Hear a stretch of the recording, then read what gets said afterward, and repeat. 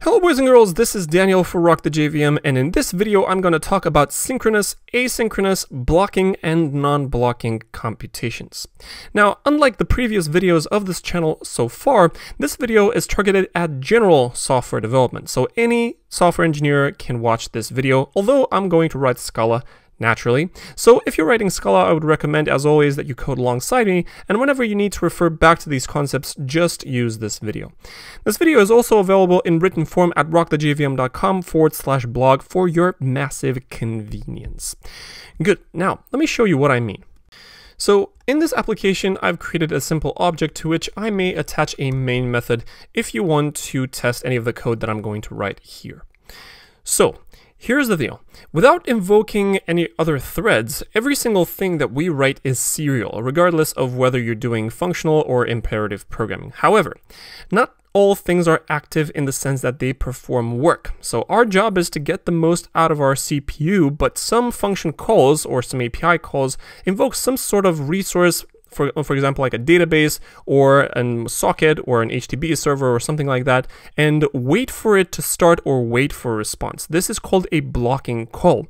And blocking because when you call this API, when you call the function, you can't do anything until you get a result. Let me give an example. So let me define a method that I'm going to call blocking function, which takes some sort of arguments like an x which is an int, and returns an int, for example.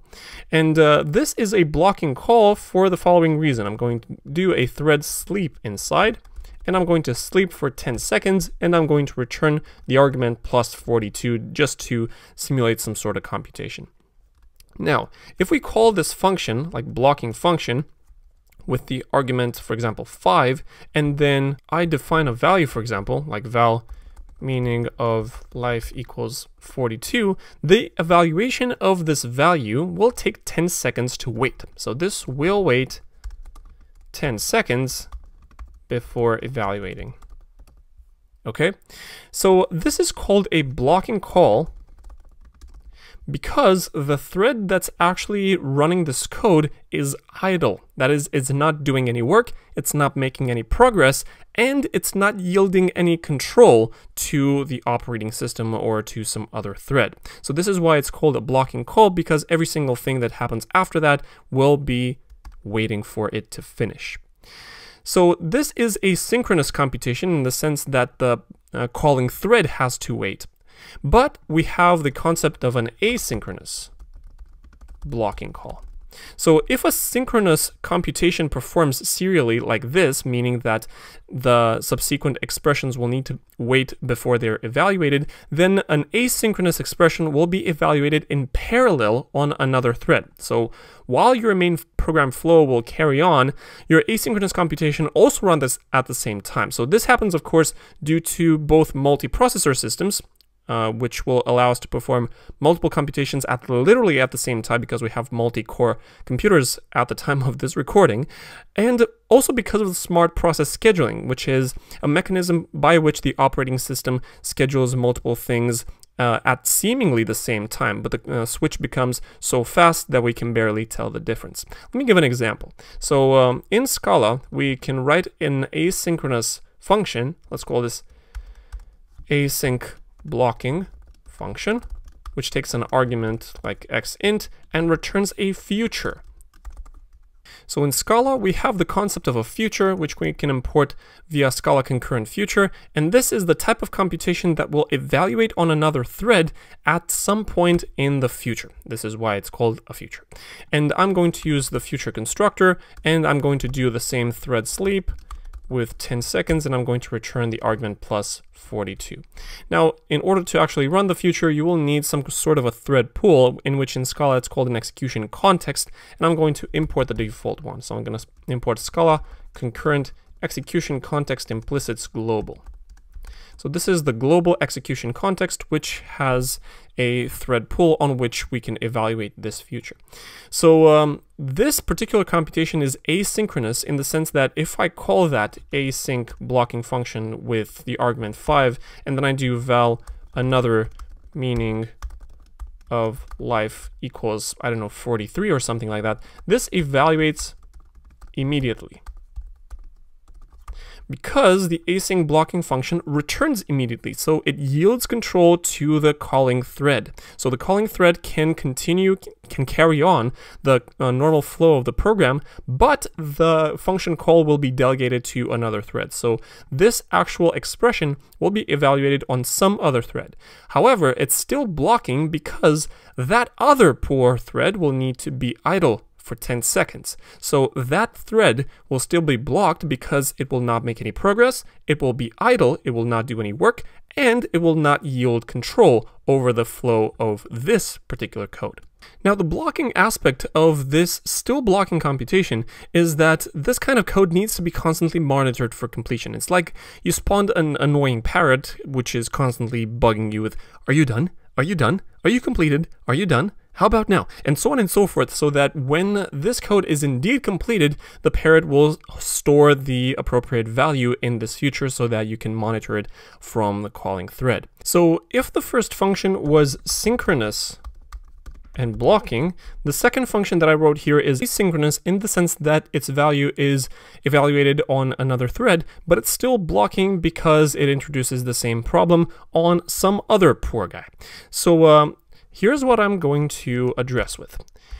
Asynchronous and non-blocking.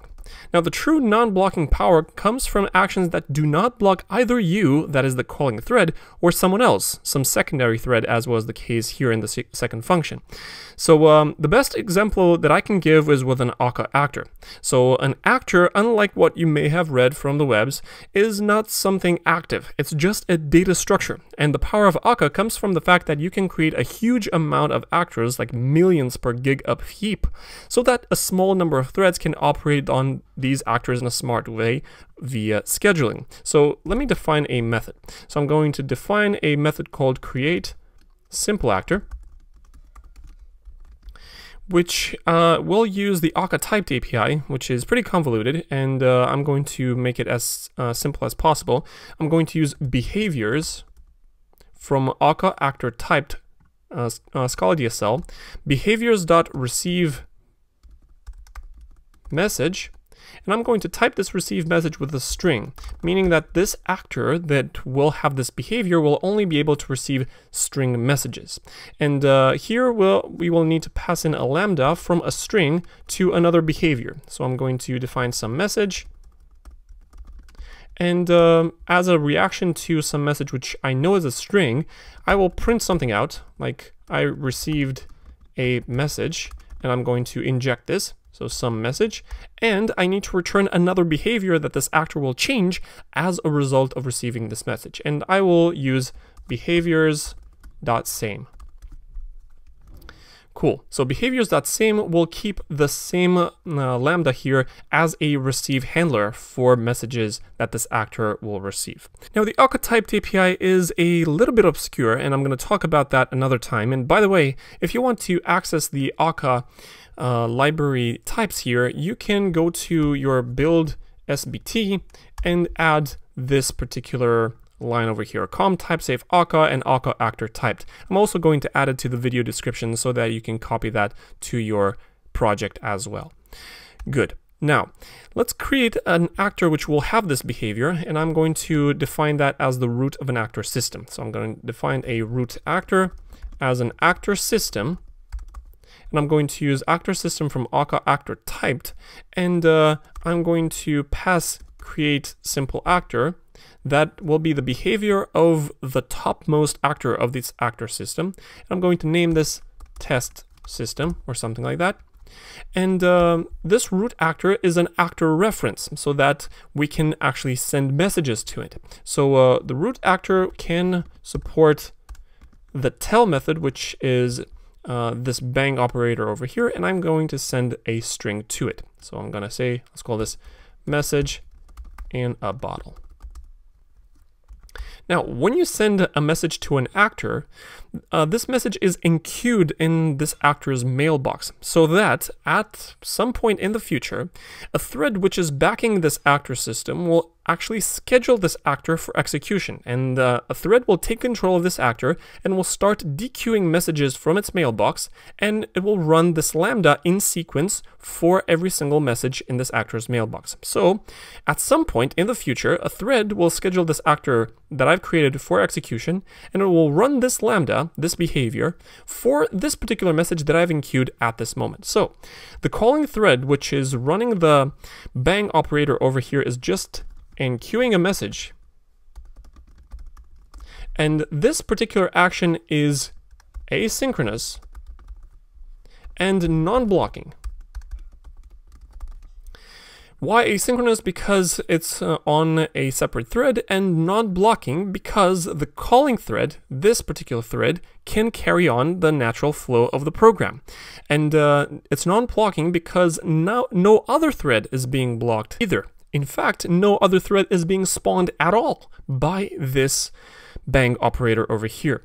The uh, threads that are backing this actor system will take care of themselves and they will be scheduled by the actor system's dispatcher so that they can actually run these actors. Okay, so this is completely asynchronous and non-blocking. So this is very powerful. Asynchronous non-blocking computation is actually what you want. However, even in this very simple example, we have a drawback because we aren't returning any meaningful value out of this interaction. The bang operator just returns unit. So uh, to solve that, we can return a future which the actor might complete manually. And uh, for that, I have another video with controllable futures in Scala if you want to check it out. I'm going to attach that to the video description as well. So here's what I'm going to write. I'm going to write a small API that will interact with an actor and will return a future which you can then monitor for completion. So uh, here's what I'm going to write. I'm going to define another actor system, another root actor in another system. I'm going to call this promise resolver as an actor system. And I'm going to pass uh, its behavior, which in the very similar fashion, I'm going to run a behaviors.receive message. And uh, I'm going to make this actor receive, instead of a string, I'm going to make it receive a tuple of type string and promise of whatever kind of computation you want to return at the end of the interaction. For example, a promise int. So um, I'm going to import Scala concurrent promise. And um, given that this lambda takes a tuple between string and promise int, I can actually decompose that with a partial function right off the bat. So in case I receive some message as a string and a promise as a promise int, I can do some computations. For example, I can do promise.success and I can um, fulfill this promise with the message's length. So message.length. And then I'm going to return the next behavior that this actor will have, which is behaviors.same. Cool. Now this was the behavior of the actor, and let me also give this a name. Let's call this promise resolver. Now, this particular actor, when it receives a tuple of string and promise int, this promise int will be fulfilled by the actor at some point when some thread of the actor system actually schedules it for execution. And I'm going to define a small API method like do async non-blocking computation, and I'm going to make it uh, receive an argument like s colon string, and it will return a future int. And um, I'm going to return a future int by creating a promise. So I'm going to create a promise. This pattern is exemplified in the controllable futures video that I recorded roughly two weeks ago. And I'm going to define a promise int. And then I'm going to pass it away uh, as well as the string argument to this promise resolver. So I'm going to say promise resolver tell, and I'm going to use the tuple the argument s and a promise. And then I'm going to return a promise dot future. Why do I do that? Well, if I do this and I return the future int, this future will be fulfilled when this promise is fulfilled. And this promise is fulfilled when this actor is being scheduled to run.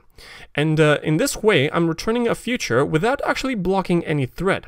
So um, I can actually invoke this API. Let's call this async non-blocking result as do async non-blocking computation with some message.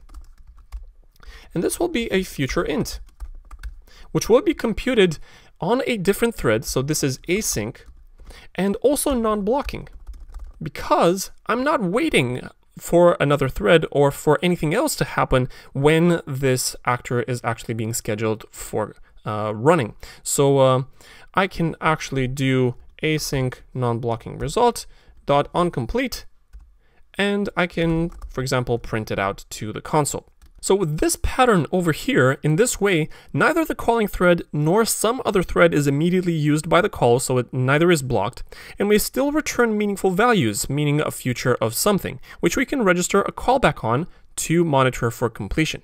Now, for some reason, the ask pattern in Akka typed, which this particular pattern simulates, is very, very convoluted, but I'm going to talk about the Akka typed API another time.